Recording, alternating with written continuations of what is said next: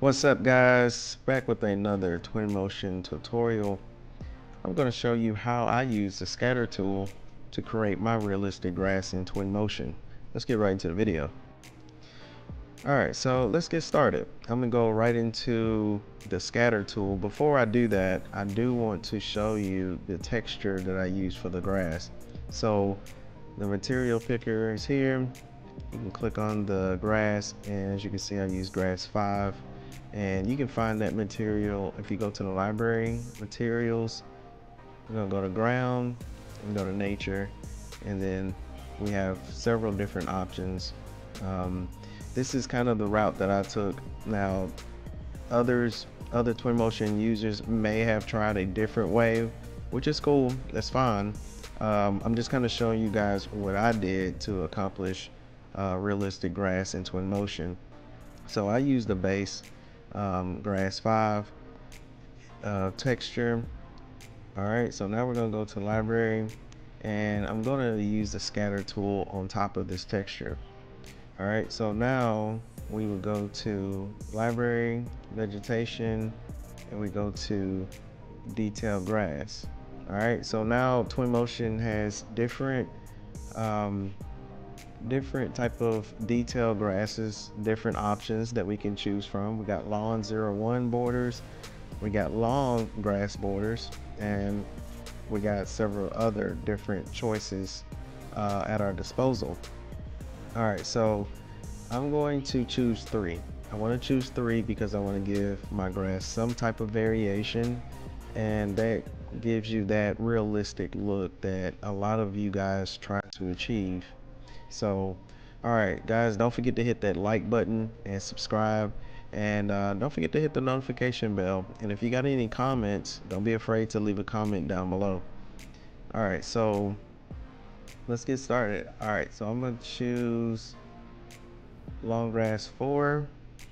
Oh, I'm getting ahead of myself, guys. Let me back up just a second. We're gonna go to populate. And as you can see, we go to scatter here and we're gonna drag these detail grasses, the, my three options over to the drop um, drop in model here to start painting on our surface. All right, so now I'm going to drag and drop. I'm gonna use the long grass border 04. I'm gonna use the long grass border 01. And I'm also gonna use the long 01 borders. So I'm using the detail grasses and the borders because if you kind of look at our model here, we have a base and I don't want my grass to scatter off this border or off this boundary. So trying to keep it clean and this is a good way to do that. All right, so let's go back to populate. Now that we have our different variations of grasses chosen, I'm gonna click that one and as you can see it gives us more uh, options to change the size of the grass and the details. So first let's go ahead and start scattering. I'm going to go to the scatter tool and we're going to click. Alright. So I click just one time and then I escape to back out so I can actually go to my um, different options and details that I can change. So as you can see it's at 50% size. So as you can see we can raise the size of it. We can make them longer. We can make them a lot shorter. All right so I'm going to leave it at 50% and I'm going to go to details. And you can choose the growth type to uniform or wild. I'm gonna click it on wild. And some others like to use a little bit of dryness and that kind of helps uh, to give it that realistic look.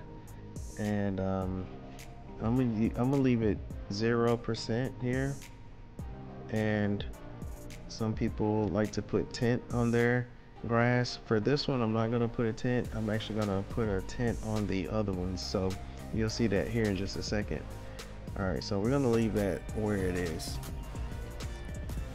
and I think I want to use the scatter tool one more time just get a little bit more all right so So now we're gonna go to the long grass. I'm gonna choose a different kind. And then now, once we choose it, now as you can see the difference, you can see the different variations of the grasses. This one's a lot uh, more saturated and you can kind of see the yellow and the brown and the green here which is good. It's giving us those different variations that I talked about. So I'm gonna pick it again. All right I'm to escape out. And I'm going to show you how I changed some of the details for this one. So for this size I went down to 40% and now we look at our growth type. We got uniform and wild. I'm gonna click I'm gonna keep it at wild and I'm gonna change the tint on this one. I want this tint to actually be a little darker. So now I'm going to change that from 200 we're gonna we're going to change the RGB I'm gonna do that 30 I'm gonna do 38 and 36 so now you can see that my grass is a lot darker all right so now I'm gonna go to the next one. We're gonna we're gonna repeat the same thing over. You're gonna pick the next one? Go your scatter tool. We're going to kind of just click around. And as you can see it's going around my whole scene. Just kind of clicking around just kind of filling up the space. All right so now I'm going to exit out or escape. And for the size of this one, I'm actually to want this one to be at 70%. Go to details. I'm to keep it wild. I'm actually add a tint on this one as well. Guys, don't forget to smash that like button for me and subscribe. And I'm to make it 182. 215 and 216 all right so as you can see we have different variations. And you can kind of play around with it just a little more just to kind of fill up some of the areas. You can kind of pick the other one too. Scatter tool just kind of speeding up a little bit. Just kind of show you the different variation types that I use. As you can see my grass is not going across the border and that's what we wanted to do. So all right so now that you see that we go back to our image. And we can kind of fill it up a little more.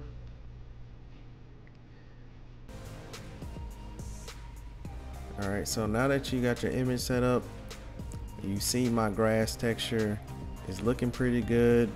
Guys don't forget to smash that like button for me. Don't forget to subscribe and hit the notification bell, and we'll be back with another one.